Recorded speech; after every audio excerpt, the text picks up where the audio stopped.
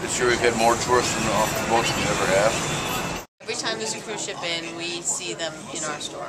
I mean, we had eight cruise ships in the last week, and so there's quite a lot. It's good for us. The more cruise ships, the better. Uh, this has been here for 10 years. Uh, within the last five years, I'd say there's been a change.